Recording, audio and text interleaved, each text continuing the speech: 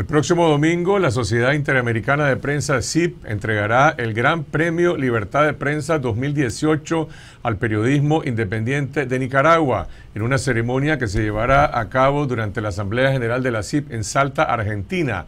Al anunciar este premio hace unos meses, la CIP declaró que desde abril de este año la prensa nicaragüense ha afrontado con valentía las presiones, la intimidación y el acoso, sin desmayar en su denuncia rigurosa de la violación de los derechos humanos y la violencia indiscriminada del régimen de Daniel Ortega. Se trata, por lo tanto, del reconocimiento al coraje y la valentía de periodistas que han sido asesinados, perseguidos y censurados y siguen siendo amenazados por el régimen, pero al mismo tiempo es un reconocimiento a la calidad y al profesionalismo de la prensa independiente de Nicaragua en una situación extrema de crisis y máxima tensión. El Foro de Libertad de Prensa de Nicaragua seleccionó a Miguel Mora, director de 100% Noticias, para que reciba este premio en nombre de la prensa independiente del país y para conversar sobre la trascendencia de este reconocimiento que honra la memoria de Ángel Gaona, asesinado hace casi seis meses, el 21 de abril. Nos acompaña Miguel Mora, Luis Galeano, director de Café con Voz, eh, Álvaro Navarro, director del medio digital artículo 66. Buenas noches, Álvaro. Eh, Luis, Miguel, gracias por estar con nosotros. Gracias. Miguel, este premio continental al periodismo nicaragüense, eh, ¿qué representa para vos, qué representa para nuestros gremios y colegas? Primero, tengo que dar gracias a Dios por el inmenso honor de eh, que me ha depositado al representarlos a ustedes a todos ustedes y a todos nuestros colegas de los medios independientes, periodistas, que en un momento creo que sin igual en la historia de Nicaragua decidieron, pese a, las amenazas a su vida y a las represiones de todo tipo, eh, decir la verdad. Es un principio, es un, eh, prácticamente ni siquiera tuvimos que hacer periodismo investigativo, simplemente nos decidimos a a tratar de llevar la verdad al pueblo de Nicaragua y esto fue una cuestión de vida o muerte, no solo para los periodistas, y esta es la gran responsabilidad también para mí, de saberlo representar en este cónclave de, de los periodistas a nivel continental, de vida o muerte para los periodistas, pero también de vida o muerte para el pueblo de Nicaragua. No, ni siquiera me atrevo a pensar qué hubiera pasado si no hubiera habido periodismo independiente en este momento trascendental. Yo agradezco a Dios, a ustedes por haberme escogido y espero ser digno de representar eh, dignamente y fielmente al periodismo valiente eh, de Nicaragua. Hay que preguntarse también qué habría ocurrido en nuestra labor como periodistas de no haber sido por el empoderamiento de las audiencias y los ciudadanos, porque bueno, la CIP le está dando este reconocimiento a los periodistas profesionales de Nicaragua, pero detrás de nosotros hay un acompañamiento de los ciudadanos que han hecho suyo el derecho constitucional a la libertad de prensa expresando, y a la libertad de expresión, expresándose principalmente a través de las redes sociales. ¿Cómo valoran ustedes ese, ese complemento de la labor del periodismo? Yo creo que ese es uno de los grandes triunfos de la, de la rebelión cívica. ¿no? El ciudadano solamente, no solamente despertó, guiado de la mano de los estudiantes, eh, para decir que basta ya a, los atropellos que se venían dando de parte del gobierno, sino que comenzó a utilizar eh, de una manera extraordinaria las redes sociales, el tema de, utilizar el teléfono como, como, su arma fundamental para documentar eh, muertes, para documentar eh, agresiones, para documentar atropellos, para documentar violaciones a la ley. Eso es una, creo que es una de las, victorias más grandes que ha tenido el pueblo nicaragüense en relación a, a eso que parecía hasta hace unos meses un elemento de distracción, de diversión, que era el Facebook, el Twitter, el WhatsApp, se convirtió realmente en nuestra mejor herramienta como periodistas, como ciudadanos, para defendernos casualmente de un régimen que no eh, acepta de ninguna manera eh, contrastes, que la verdad se conozca. Vos lanzaste un medio digital hace más de un año. El 30 de septiembre cumplimos un año. Artículo 66 es un medio que se probó, digamos, su eficacia, su capacidad de comunicación en las transmisiones en vivo, transmisiones en vivo como la que realizó Ángel Gaona cuando lo asesinaron en Bluefield, pero bueno, ahí está el periodismo digital. Eh, mi pregunta es, ¿hasta dónde todos nosotros como periodistas y como ciudadanos, que también hemos acompañado al pueblo en esta lucha, eh, hemos sido capaces de establecer la frontera, si es que existe una frontera entre periodismo, acción ciudadana, activismo político en algunos casos? Mira, básicamente pues la decisión de que eh, tenemos una obligación profesional con la audiencia, pues nos ha impulsado a eh, cumplir con estándares, con rigor, etcétera, para, para poder hacer nuestro trabajo. Eh, hay una línea bien difusa entre qué es eh, periodismo profesional en las redes y también qué es denuncia o incluso qué de activismo, pues, y por supuesto que es la audiencia al final la que nos va dando la pauta para eh, poder estar en los, en los, momentos importantes, en los momentos cruciales eh, y tratar la información con, profesionalismo, pues, y con, y con la posibilidad que nos dan las herramientas que tenemos en la, en la formación eh, como profesionales, como periodistas eh, y luego, como ya decía Luis, pues por supuesto acuerparnos de, ese, de la valentía de la gente también eh, que te envía información. Hay una gran cantidad de ciudadanos que todavía tienen temor incluso de ser ellos quienes difunden los videos o las fotos eh, o, las denuncias de lo que está ocurriendo y entonces de alguna manera también se acuerpan con medios de comunicación pues que estamos en esta labor. Antes del 18 de abril, Miguel, 100% Noticias era un medio en el cual comparecían en algunas ocasiones eh, las fuentes oficiales, vos fuiste objeto de censura en los primeros días eh, de la represión.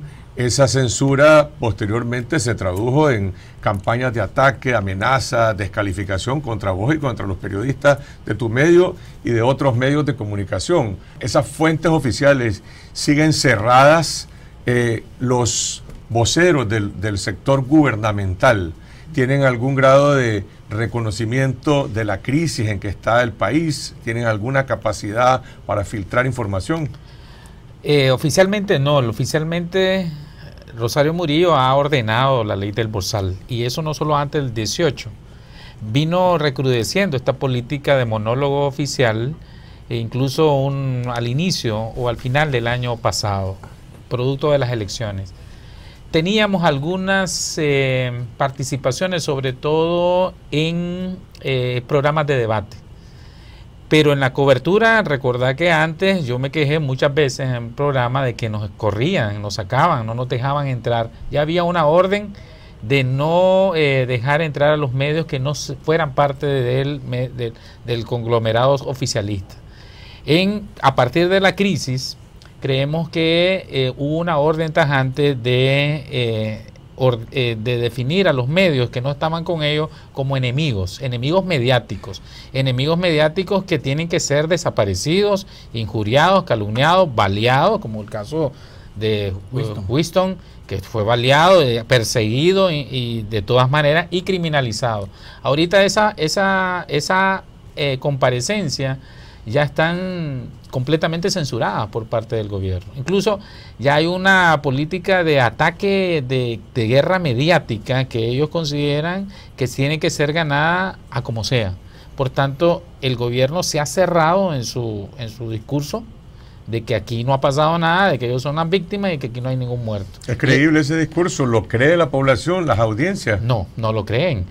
Eh, tanto así que nuestra audiencia, como un canal medianamente, eh, con estructura mediana de cobertura, eh, comparado a, los medios que ellos tienen, eh, se ha multiplicado, no sé por cuántas veces.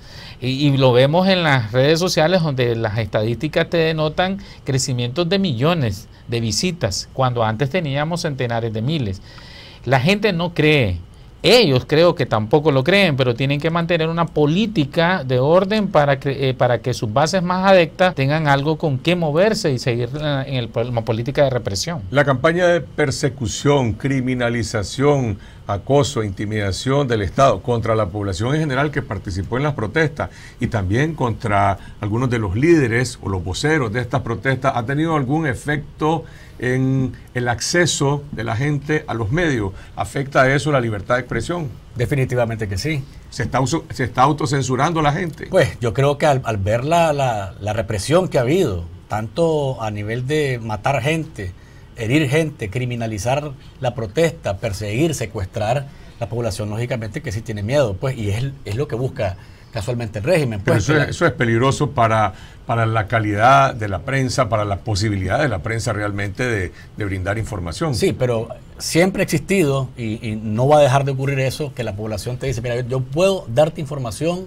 extraoficialmente de lo que está ocurriendo, te lo dice la gente que está en la rotonda, te lo dice la gente que está trabajando en el Estado, la manera en la que los están eh, obligando a que vayan, cuáles son las, las- las presiones que tienen, las Te amenazas. mucha y, o sea, siempre, va, siempre se va a dar la información del ciudadano que quiere contribuir a, a con- a- a- a construir un mejor país, hombre. Eso es lo que estamos buscando todos, cómo tener un mejor país. Y por tanto, si bien es cierto ha tenido un efecto directo en la población esta, esta campaña y esta, esta persecución de todo el que alza la voz para decir o denunciar, eh, siempre va a haber también eh, ciudadano dispuesto a decirte de manera extraoficial qué es lo que está ocurriendo en su institución, en su barrio, en su comunidad. En esta Asamblea General de la CIP, además del premio al periodismo independiente nicaragüense, hay otro colega nicaragüense que está recibiendo un premio individual. Es Pedro Molina, caricaturista de Confidencial, eh, desde Estelí, quien recibe el premio al mejor caricaturista del año por su trabajo. El humor político, ¿qué rol tiene en esta crisis? Mira, ha sido sumamente importante, pues, y, yo creo que es, importante reconocer el esfuerzo de Molina, el esfuerzo de Manuel Guillén eh, en la caricatura de la prensa, eh, el esfuerzo de un colaborador nuestro también, que por los mismos temores, pues todavía no se identifica en artículo 66 que está haciendo caricatura. Nosotros hicimos, eh, pues recientemente hicimos una última eh, producción en La Tajona que es precisamente tocando con sarcasmo temas duros, pues temas importantes. Y yo creo que sí es, sí es, es- sumamente interesante que la audiencia puede llegar a, temas complejos, eh, eh, a contenido que normalmente no accede por cualquier razón y lo hace a través del humor, pues, es decir, y, y logramos eh, de alguna manera poner en jaque también la- los abusos del poder, las- los absurdos que comete este gobierno, pues, por- y, y- y queda retratado en una caricatura o en, un- o en una producción. Vamos en los últimos minutos que nos quedan a los retos que tiene la prensa independiente de aquí para adelante. ¿Qué falta por contar de esta rebelión, de esta, eh, de esta represión masiva? ¿Puede sobrevivir económicamente la prensa independiente dentro de esta crisis nacional económica que también se ha producido en el país? ningún ente jurídico y persona natural de continuar esta crisis económica puede sobrevivir en Nicaragua. Aquí o nos ponemos de acuerdo y activamos nuevamente, encendemos nuevamente el país o todos perecemos, incluyendo los medios de comunicación. Los medios de comunicación y el periodismo nacional tienen que mantenerse en sus principios. Vamos a seguir diciendo lo que pasa, tratando de ser lo más preciso posible, separando el activismo político y las, y las políticas partidarias de lo que es la línea editorial. El pueblo de Nicaragua lo que quiere es la verdad para tomar decisiones. Ese es el reto. Componiendo el país, lógicamente, los medios independientes vamos a tener la recompensa de la audiencia y por ende de la pauta publicitaria, que es lo que nos hace mover nuestras contrataciones, inversiones, etcétera. Creo que el pueblo va a saber eh, galardonar el esfuerzo del periodismo nicaragüense y de los medios independientes. Pero si no nos ponemos de acuerdo, ni los periodistas, ni los medios independientes, ni usted, ni nadie que esté en la casa va a tener futuro en Nicaragua. Y ese es el gran reto para todos. Hasta ahora se ha producido un- un- una convergencia de unidad, de acercamiento entre muchos periodistas de diferentes medios, pequeños, medianos, grandes del interior del país. Y creo que también esto ha sido otro logro extraordinario. O sea, podemos hablar de que hay más periodistas independientes unidos hoy en Nicaragua. La pregunta es si vamos a poder sobrevivir. Lo que pasa es, lo- efectivamente, hay mucha más cercanía, más identificación sobre el trabajo que tenemos que hacer en relación a lo que la población espera de nosotros frente a un monstruo tan grande como el que con- contra el que se está luchando a nivel de sociedad. Pero eh, si no hay, como dice Miguel, un pacto social y, la palabra pacto y el pacto que sea que sea bien visto, un pacto social en el que hay un acuerdo para sacar al país del atolladero en el que está, difícilmente los medios de comunicación independientes vamos a tener la posibilidad de hacer un trabajo como el que hemos venido desarrollando y si la gente no se empodera de lo que significa eso y empuja también para que ese pacto social tenga un resultado lo más pronto posible, pues va a ser muy complicado. Mientras llegamos a ese pacto, a ese arreglo, a, esa, a ese diálogo, a esa solución política, eh, ¿qué más puede hacer el periodismo desde, desde, lo que corresponde en nuestras capacidades como profesionales? Mira, yo creo que el gran reto que tenemos es poder saber, eh, poder ganar la confianza de sectores dentro del Partido Sandinista. Eh, y, sobre todo dentro de las instituciones. Yo creo que los empleados públicos eh, son eh, sumamente decisivos para saber lo que está ocurriendo dentro y que los periodistas, los medios de comunicación podamos publicar, porque es decir, yo estoy convencido que en el Frente Sandinista hay profundas diferencias, que el mismo gobierno está enfrentando serios problemas en, su, en lo poco que le queda de su base, en las instituciones instituciones importantes como el ejército, por ejemplo, que hasta ahora se han mantenido en un silencio cómplice sobre, sobre toda esta represión y sobre toda la barbarie que han, eh, realizado, pues habría que ver eh, qué piensan desde los ex jefes hasta los, los mandos del, ejército. Pues ojalá podamos. Y se están informando precisamente por estos medios independientes. El crecimiento de nuestras audiencias principalmente viene de ahí, de gente que el gobierno y los medios oficiales no les brindan absolutamente ninguna información más que la repetición del monólogo oficial que mencionaba que mencionaba Miguel, de manera que nosotros somos evidentemente también un puente de comunicación eh, con esos sectores. Gracias eh, Álvaro, Luis, Miguel, nuevamente felicitaciones eh, por esa nominación para representar a toda la prensa independiente en esta Asamblea General de la CIP.